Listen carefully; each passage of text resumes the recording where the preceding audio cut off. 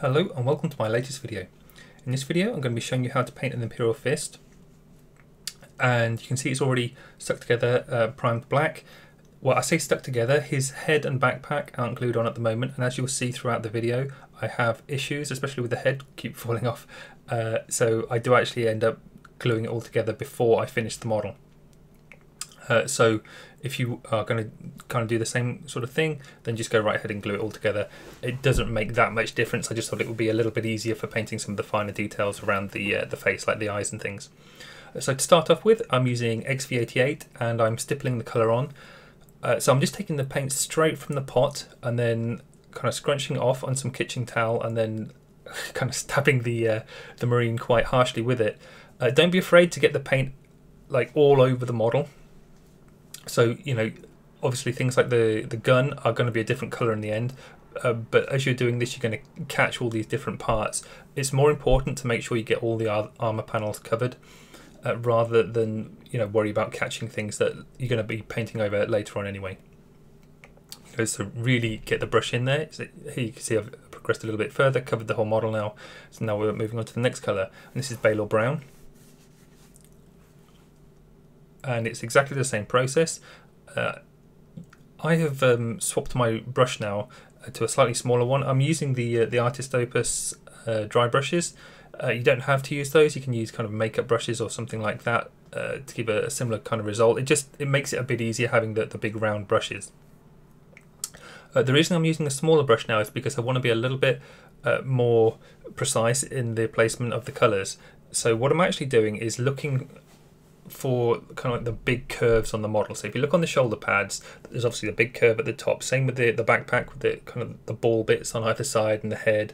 Um, anything with a big curve on that's going to catch a lot of light because I'm doing a top-down lighting effect while painting this. It's not just going to be uh, the same lighting all the way around. Uh, and the reason for this, it will allow me to focus more on the head and chest area and also it allows me to be a bit more lazy so I don't have to focus quite so much on you know the less important parts of the model. Uh, but yeah, so you know it, it's pretty simple still. Uh, same same idea, stippling the uh, the big or smaller dry brush on the uh, the armor panels. Uh, so now I'm going on to the airbrush. And to do that, I have to thin the paint. I'm using some uh, Yriel yellow, and I put some in obviously a small well palette. Uh, this is one of the the Redgrass Games think, uh, well palettes. Now I'm putting in some Vallejo airbrush thinner. Uh, you don't have to use that. You can just put in some water if you like, or just a, a mix of the two, whatever. I'm just lazy and just put some drops of that in uh, until it gets, you know, to a, a, fairly thin consistency, but still enough that it's only going to take me one pass to get a reasonable amount, reasonable amount of color onto the model. Um, this will help blend in a lot of the texture that's already there, so you can see the model looks kind of awful at the moment. Uh, and this will flatten a lot of that out. And it'll also add quite a bit of uh, more yellow to the, the piece because obviously when using uh, XV88 and Balor Brown, there's not that much yellow. Now there's an element of yellow in them, in them because they are kind of yellowy brown colours. But obviously the Yriel yellow is much more saturated in the, the yellow color, so uh, this is making look a bit more Imperial Fist like. Uh, having said that, though, the next stage after this is going to be adding kind of some like strong highlights to the armor panels, mainly to the the top ones. So again, it's going to be the shoulder pads and things like that. Uh, and I'm using some Ice Yellow by Vallejo. You can also use Dawn Yellow. Uh, they're very, very similar colours. Dawn Yellow by Games Workshop. I would warn for airbrushing for these really light colours. Uh, so it's the same process as well. You know, put some in a well palette, add some thinner or water, whatever combination you want.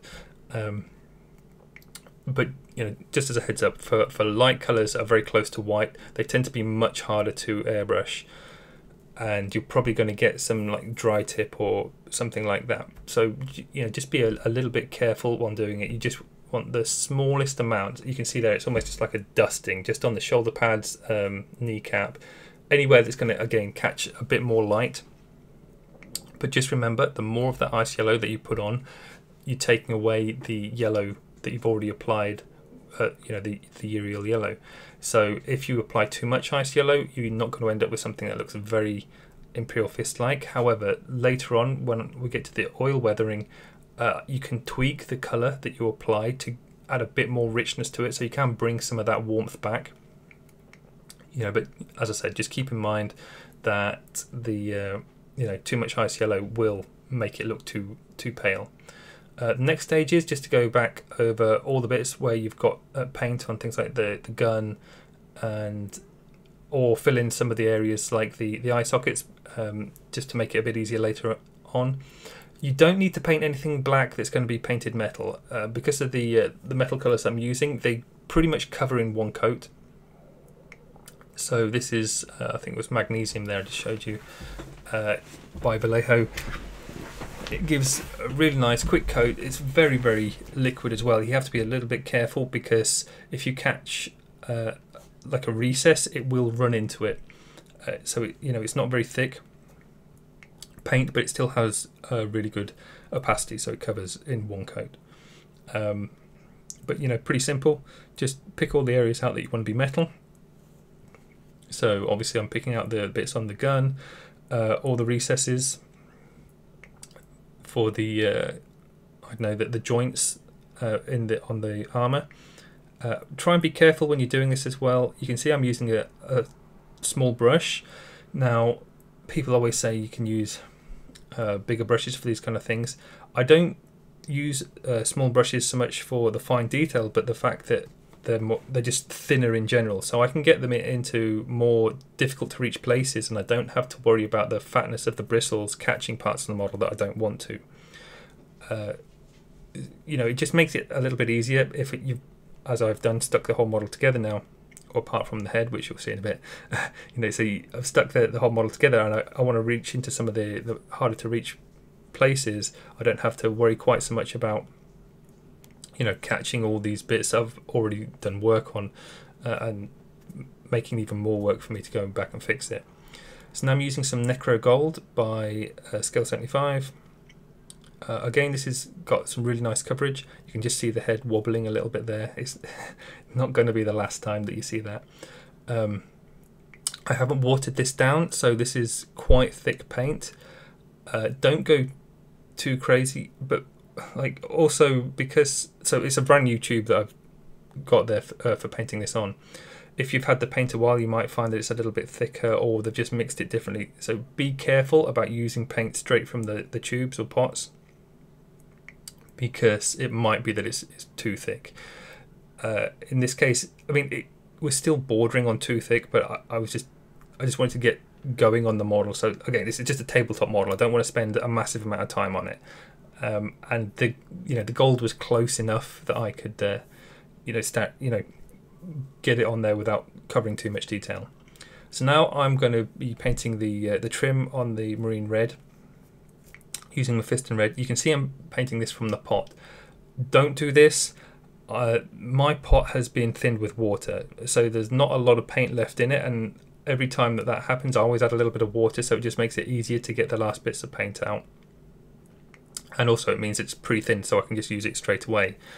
Uh, but otherwise the paint will be too thick from the pot, you do need to water it down. But you can see there, you know, it just covers uh, nice and quickly. Uh, but if you want a different uh, um, company of Space Marines, uh, you have to pick a different trim. Like so, I think this is the third company for the the red trim.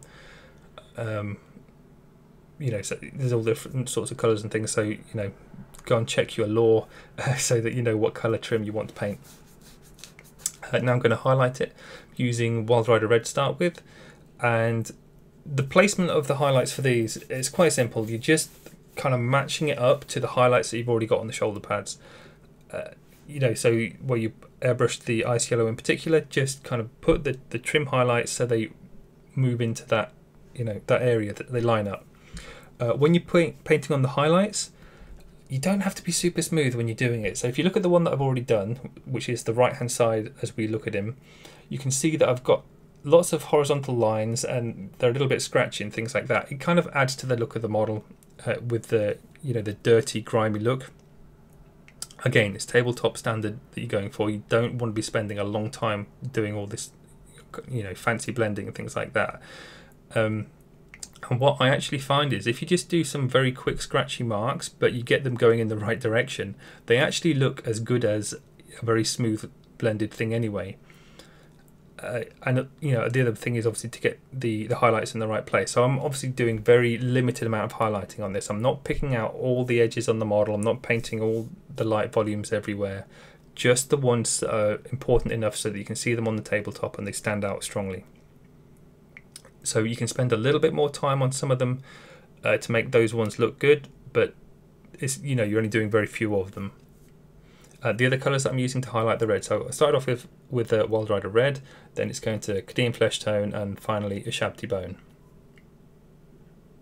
And you're just going over and over. So, uh, but and as you go over it, with each new colour, you make the size of the highlight smaller. So eventually, the final highlight is just you know a very thin line in the middle. Uh, but also you can pick out some of the edge highlights. So you see there I went back with the Shabti bone and I just picked out the the long edge going all the way down uh, while leaving plenty of red next to it. So that keeps a little bit of the saturation. So you have the same issue as with the, the yellow armor when highlighting it. As the more highlights that you put on top of the red, the more that you're hiding the red and the rest the less red it looks. So just keep that in mind when you're applying the uh, you know the highlights for it. Now we're going to spend a little bit of time. This is kind of like the the main part painting part of the model. The rest of it is more sort of just quick technique. But this is a stage where you do actually have to spend a little bit of time do uh, you know doing some painting on there. You don't have to make it perfect, and also the kind of the stippling with the big brushes at the beginning, you know, helps it you know helps this process a little bit because I'm using stippling again, obviously with a much smaller brush. This is a size 00 Artis Opus brush. Uh, it's worn down a little bit. You know, you don't need to use brand new uh, expensive brushes for this. You can use ones where the, the tips are worn down quite a bit. And you know, you might find there's a slight texture on the model, or you can just still see some of the the earlier uh, stippling from the big brushes showing through, even though you you know very quickly glazed over it with the, the airbrush with the, the Yriel yellow and the ice yellow. Uh, so all those processes will mean that as you're doing this stippling on top of the highlights, it, all kind of blend in together. You get like a very slight rough texture effect, and that will just add to the overall kind of weathered, grimy look of the model at the end. But also, you know, once we get to the uh, the oil weathering stage, it will all blend together a little bit as well. So you don't have to be perfect with this, but you know, just take your time a little bit more than some of the other stages to you know to pick out some of the parts on the model that could help it look that a little bit better than it otherwise might if you were just rushing the whole thing.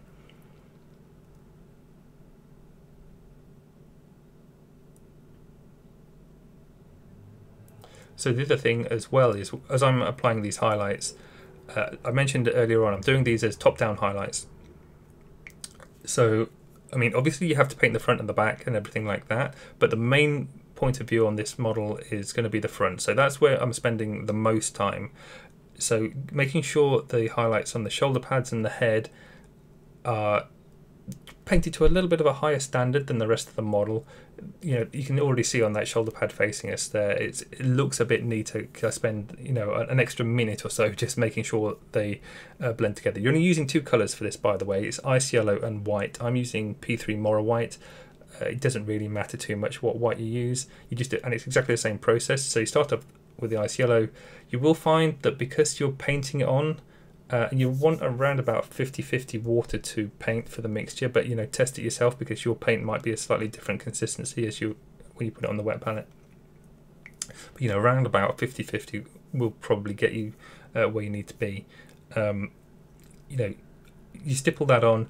It will look still brighter than the airbrush coat because the airbrush layer was so thin. The translucency of that paint means that the yellow underneath will show through a bit which makes it look darker.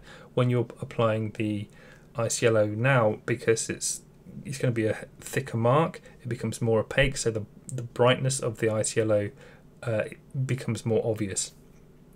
So it will still work as a highlight. Uh, now you can see I'm just uh, very quickly painting some highlights on the arm as well. If you wanted to at this stage, Uh, so if you look at the backpack as well, I think you, you can get, get an idea of like the sort of rough standard I'm doing for some of these highlights. Um, but if you wanted to, you can spend a lot longer on this. You you could actually uh, end up with a, a really nice looking um, display level model if you wanted to. Like obviously you'd have to spend a lot more time on it than I'm doing here. But you know, if you just take your time, you can still want you still want to get all these little scratchy marks and things because they add to the character of you know of the model having that grimy look to it. But you, you know you just have to make sure you take your time, get rid of any of the the marks that look a little bit out of place or aren't quite blended enough. Um, and you, like I said, you you'll end up with something that actually looks pretty fantastic. Uh, but again, it would take a bit more time. So I've been, you know, very, very quick on some of these marks. So now uh, I'm going to be painting in the, uh, anything that I've painted black now, apart from the eyes, is now going to be painted grey. Uh, it just makes it a little bit easier. Like if you wanted to, you could paint these as uh, leather, like brown leather and things. The process would be pretty much the same. You just pick different colours. So something like Rhinox hide, uh, Cadian flesh tone, and Ushabti bone or whatever. That'll give you something like a, a rough uh, leather colour, maybe some glazes of Mournfang brown over the top. But I'm just keeping them very desaturated. Obviously, there's no colour there. This you know just black and white and grey. And uh, so you can see I've got a few grey colours on there. You can mix them yourself. If you've got black paint and white paint, you just need a few transition steps uh, with varying amounts of black and white, so it's either lighter or darker for the grey. Uh, but I did end up finding that actually I only needed kind of neutral grey and um, add a bit of white to that so it was a slightly lighter version. So, you know, neutral grey, uh, white, and a step in between where you mix them together. And the main thing is, as you are applying the paint, again, you're looking for a sort of a scratchy, rough kind of finish. You don't need to be neat uh, doing this at all. And you will find as well that the oil will make such a huge difference for blending everything together that it's just not really worth it. Like I said, for for tabletop level stuff with the oil weathering doing so much work to make everything blended together, uh, it's you know super quick and easy. So it's just it's really not worth spending extra time on something that you know just for gaming. But also, as I said, if you want to take it further with uh, uh, you know if you want to take something up to display level, you can use exactly these same techniques. Just take your time a little bit longer, be more precise and careful with the marks you're making, and you know you get like a, a fantastic uh, atmosphere for the piece. You know, it, look still grim dark if you like, uh, very dark and moody anyway. Um, but it'll just have a, a, much higher finish to it. But uh, also, I mean, that is kind of true for all sorts of paintings.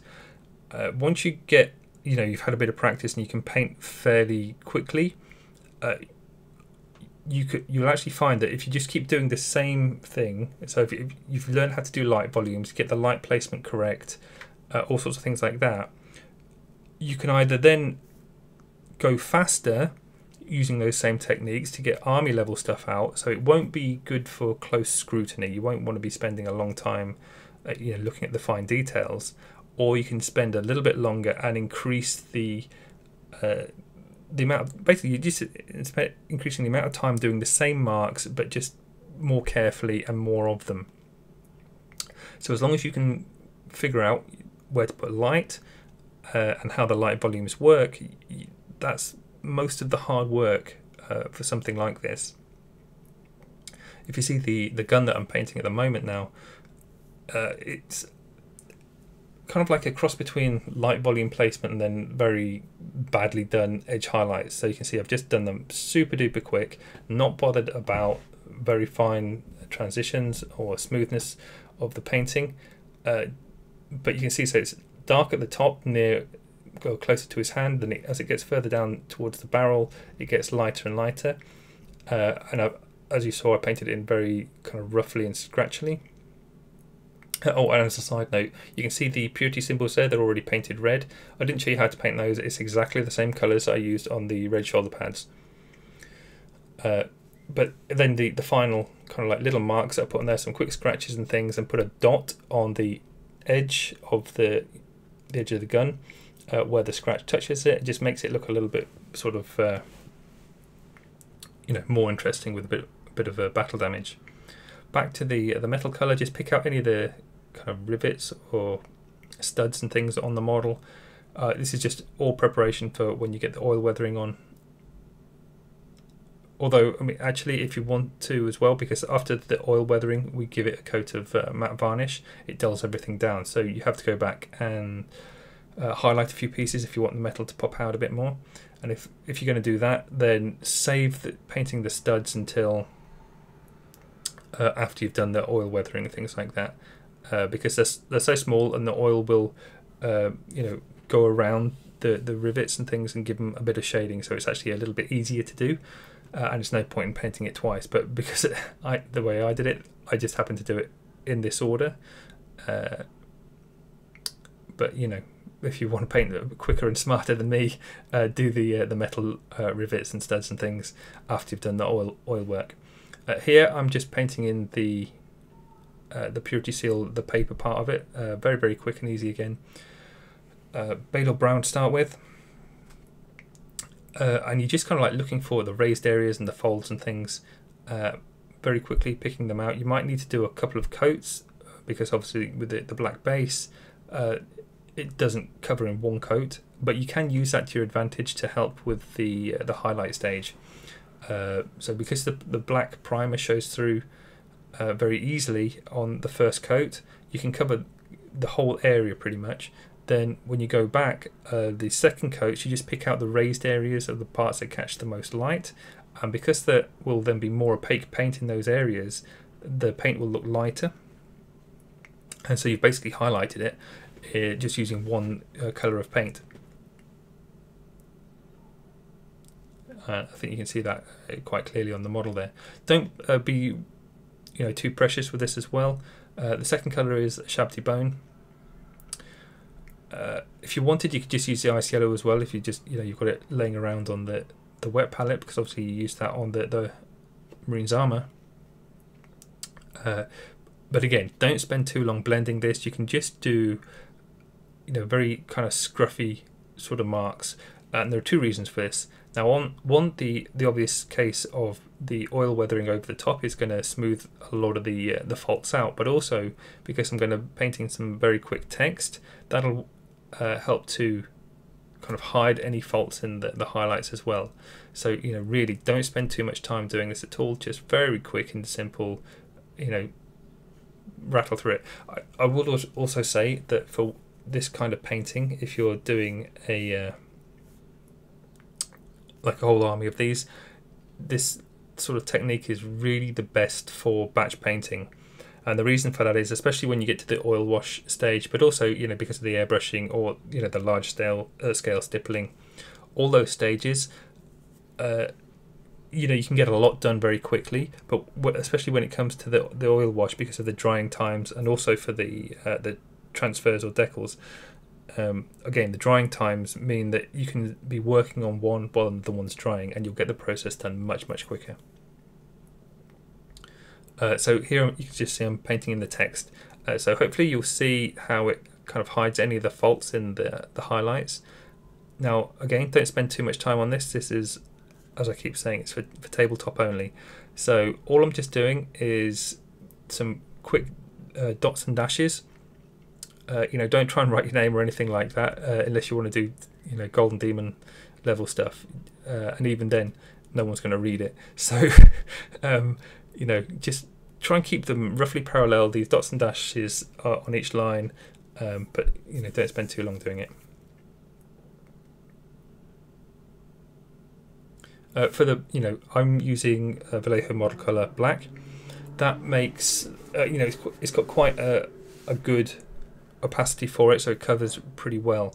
Uh, that means I can water it down slightly uh, slightly more than say Abaddon Black and still get a, a nice dark mark. So if you uh, you know compare the two, what you'll find is when you paint Abaddon Black down, that uh, if you water it down to the same amount, it'll be more translucent. And you can also see just there, you know, I just did the, the quick dashes on the pieces of paper that go underneath the top ones. That yeah, it's kind of optional. Uh, I don't think anyone's really going to notice that too much. Uh, now I'm going to use some Sotek green and do a bit of verdigris weathering on the chest piece. Now you probably noticed that I painted the chest gold, uh, which was uh, Necro Gold from uh, Scale 75.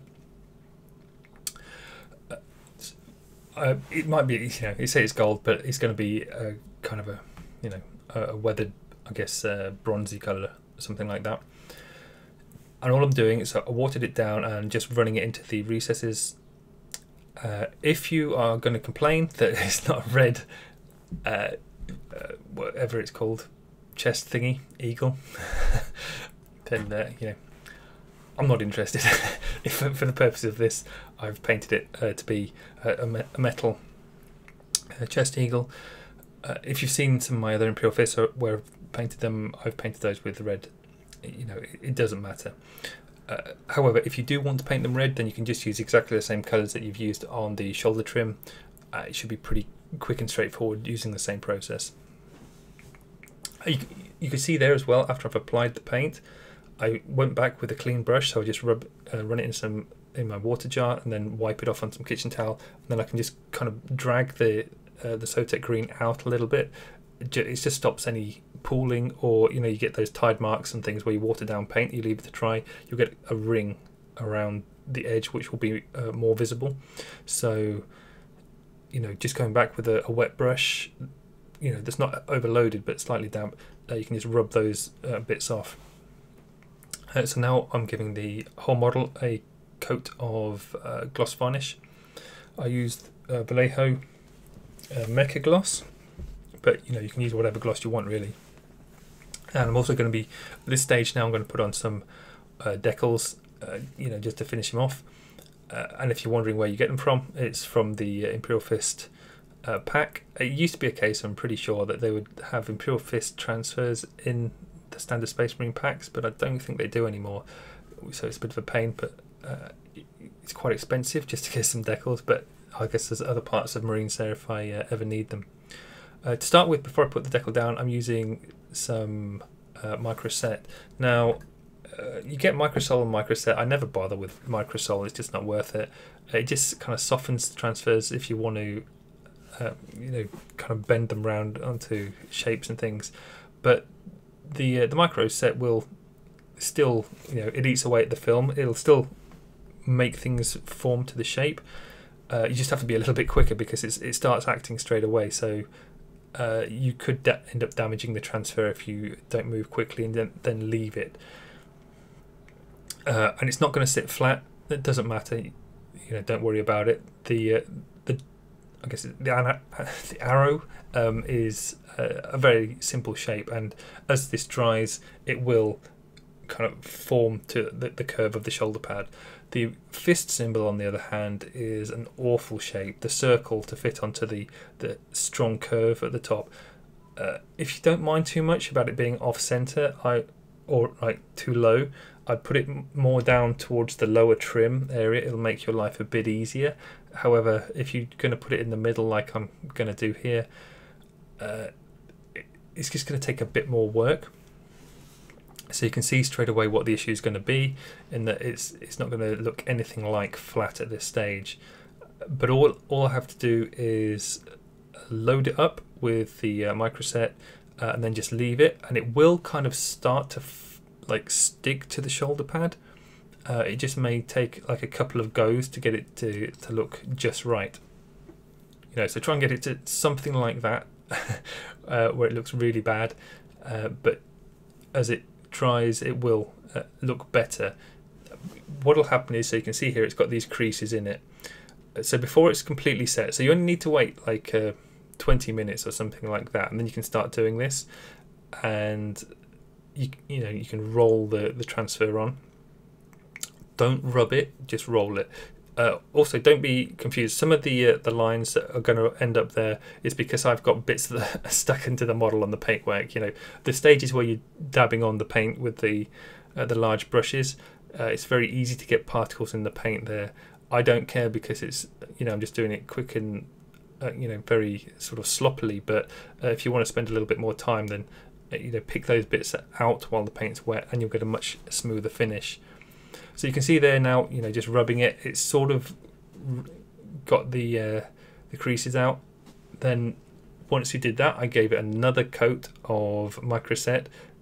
So as you can see, it's a bit more of a bit of a faff really uh, for these round uh, transfers, but um, you know, just take your time, and eventually, as you keep adding more layers of microset, it will, you know, it'll go onto the, the shoulder properly. So now I'm going to give it another coat of gloss varnish. This will seal the uh, the transfers onto the shoulder. You can see his little head's wobbling about a bit.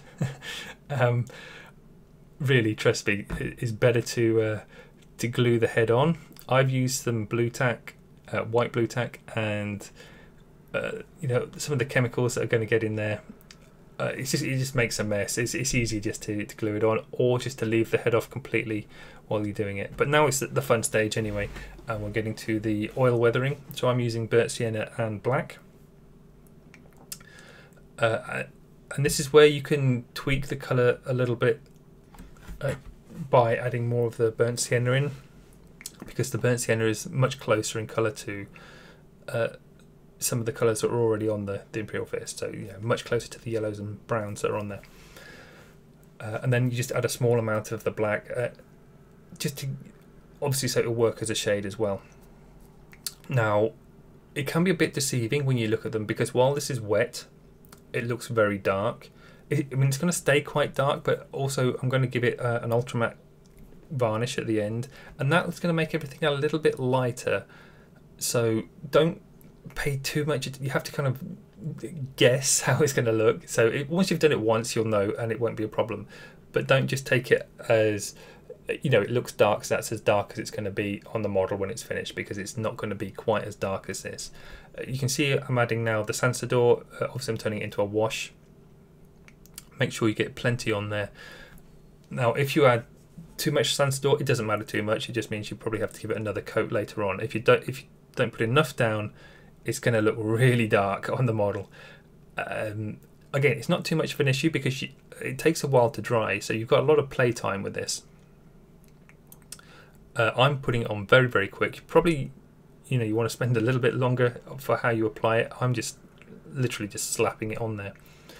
Uh, if you find that any parts become too dark, uh, then just take some of the Sansodor, load up your brush, and just keep washing it over, and it'll clean off that area. You can also take a Q-tip, uh, cotton buds, and rub some of the area off as well. However, if you do that, just be careful because you know it's going to get some uh, fibers and things onto the model, so you probably will have to uh, pick those off.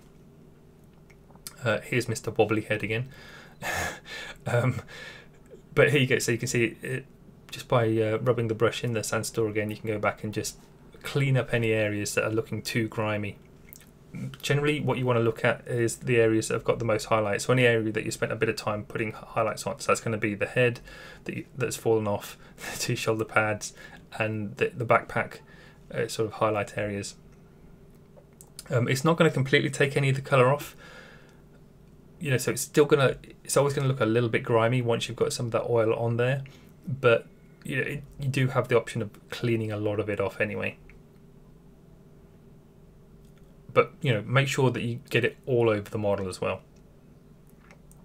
Uh, we will be working on top of some of this afterwards after it's dried, so you know, don't worry too much if it's if you make a bit of a mistake, but uh, you know, just it's kind of like it's the fun stage, so so have fun with it.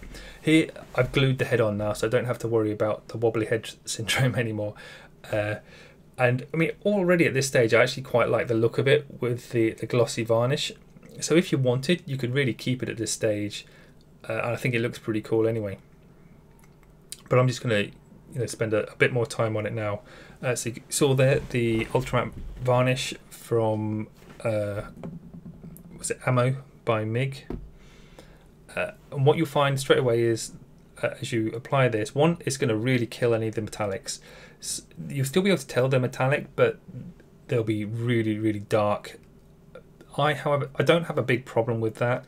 Some people do, and they complain that if so. In the previous video, I did an ultramarine, and people like, "Oh, why don't you go over the uh, metallics again?" Um, I I like the look of them being dark and moody, but uh, in this video, I'm going to actually paint over some of the metallics again, just so they have a bit more kind of shine in certain places. Um, but also, what you're going to find when you add the the varnish over the top is that the darkest areas will not look as dark anymore, and that's just something that will happen with you know once you take a gloss shine away. That and it works for all co- colors as well. So if you've got the red there, it'll look really nice and rich while it's glossy. When you put the ultra over the top and it dries, it's going to look kind of more pinky. Uh, any yellow colors are going to look lighter, all that kind of thing. Um, but it will help to kind of enhance the very grimy, grim, dark look of the model. So now what I'm going to be doing is going back over uh, the stippled highlights that I did before uh, and just picking them out a bit. Now don't spend too long doing this, it's just again just you know very quickly stippling over the top, not to the same size even, uh, because the highlights are still there. You can still see them. This is just cleaning them up a little bit and making sure they stand out more. Uh, increases the uh, the contrast on the model, so so it will really allow you to uh, work on the focal points. So again, head and shoulders will stand out a lot, and you know it, it'll just work better on the tabletop having the high contrast because you, as I said you've taken away some of the darkest elements by adding the ultramatte varnish. So this helps to you know still keep that high contrast level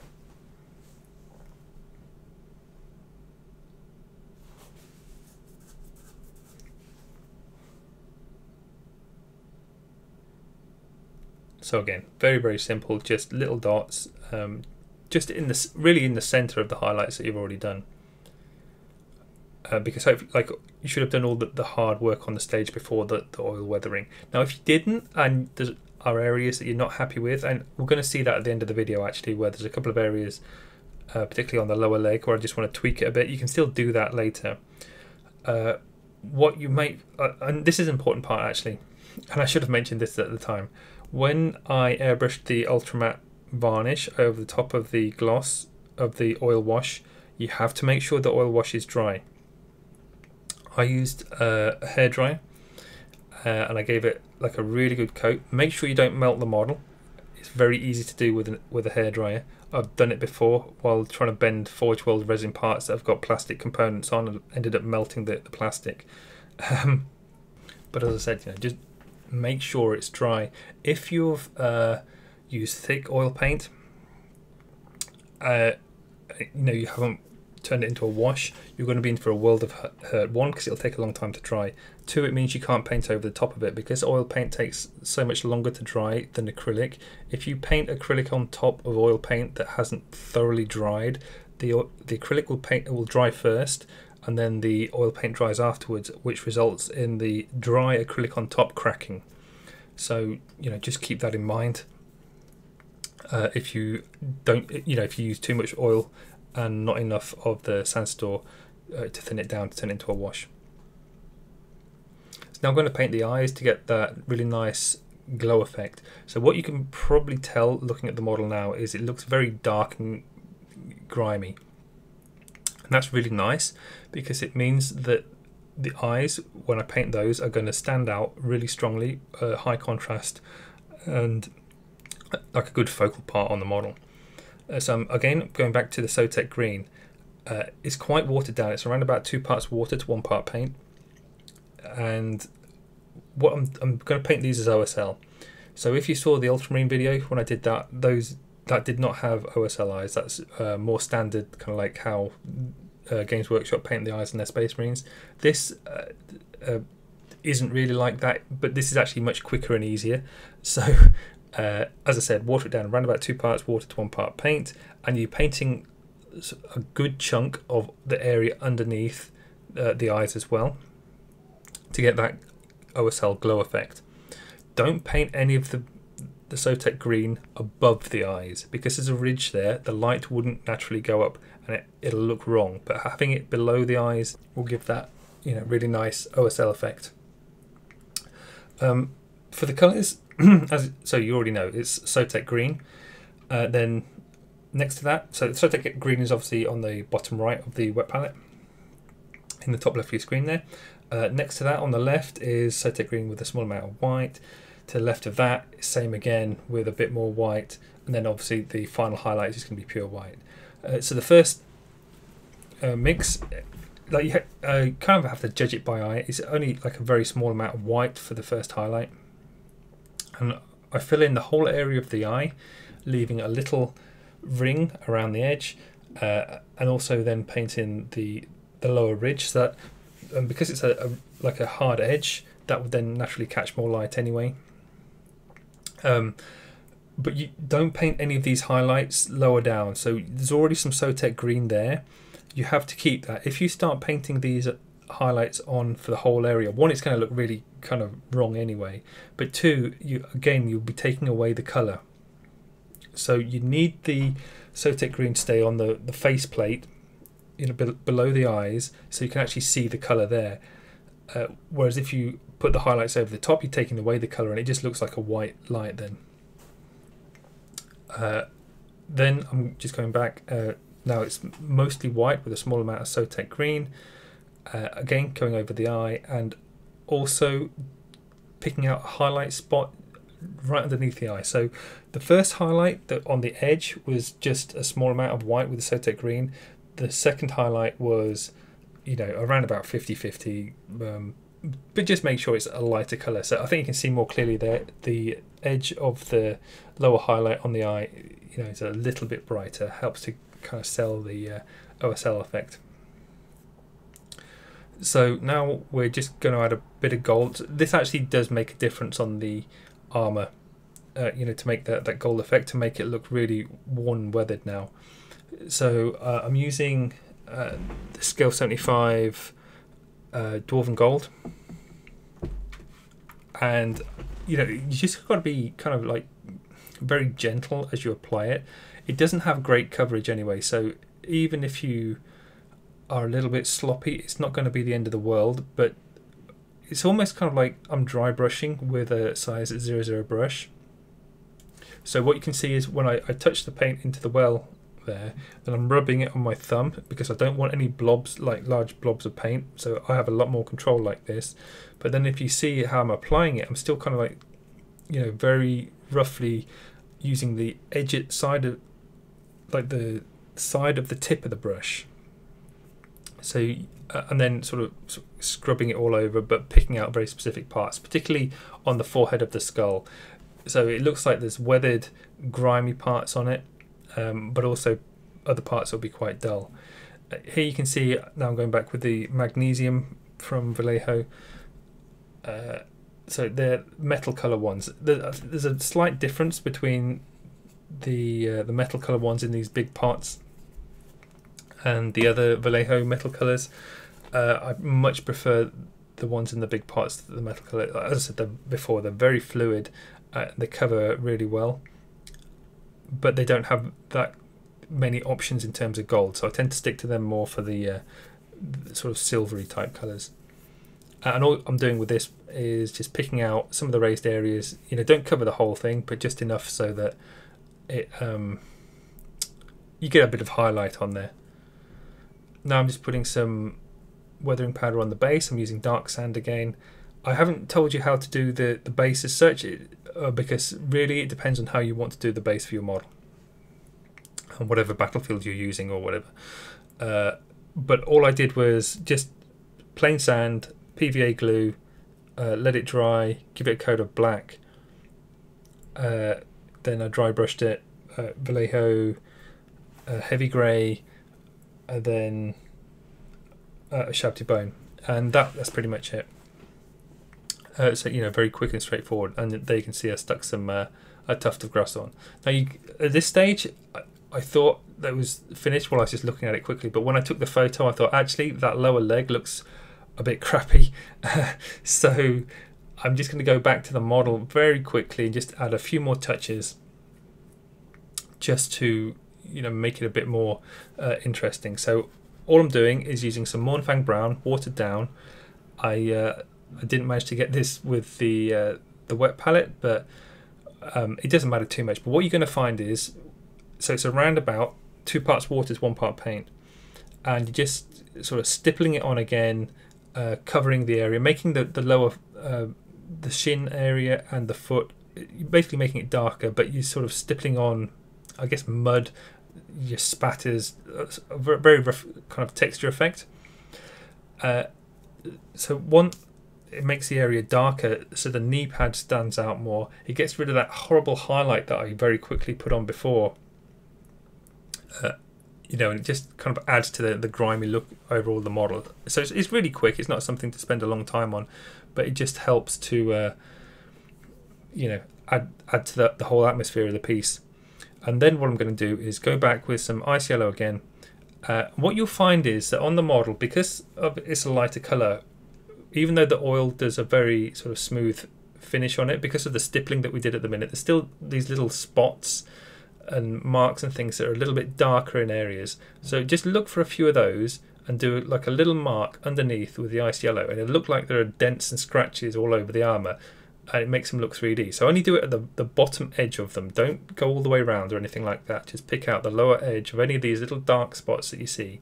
Now you can spend as long doing this as you want. However, if you go too far with it, uh, one is wasting a lot of time because uh, again it's a tabletop piece, so you don't want to spend ages picking out you know hundreds of all, all these dents and things, but it, it'll kind of it'll be too much. So you know, keep it simple. Just look for a few spots, like I have here, just a few on the shoulder pad, um, on the lower legs, things like that. Maybe a, a little scratch on the forehead, uh, and it, it just adds a little bit more to that really dark and moody kind of battered image. You know, helps with the atmosphere a lot. But uh, and there we go. There's the, the, final shot of the piece, and I think you know just that very quick extra made quite a bit of difference for you know the the weathering of the model. But anyway, that that's the end of the video. I hope you enjoyed it. If you want to see how to do this with an ultramarine, there is another video. If you check uh, my profile, um, and also I have a Patreon and a website where I take my painting a little bit further. So if you're interested in pushing yourself to more competition display level pieces like Golden Demon, something like that, uh, you know, I have a lot more videos uh, on uh, my, as I said, my Patreon and uh, personal website. But thank you very much for watching, and I'll see you next time.